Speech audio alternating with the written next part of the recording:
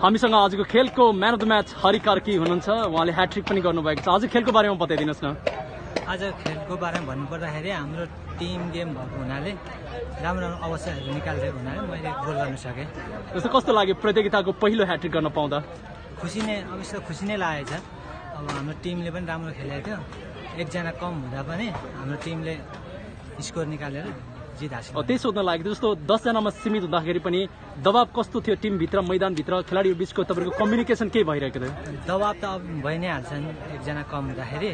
त्यही पनि हाम्रो टिमले राम्रो खेलेको हुनाले हाम्रो कम्बिनेसनहरू राम्रो भएको कारणले गोल हुन सक्यो यो प्रतियोगितामा तपाईँ र तपाईँको टिमको टार्गेट के छ? जुनै टिमको पनि टार्गेट उपाधि जित्ने नै हुन्छ हाम्रो पनि त्यही हो।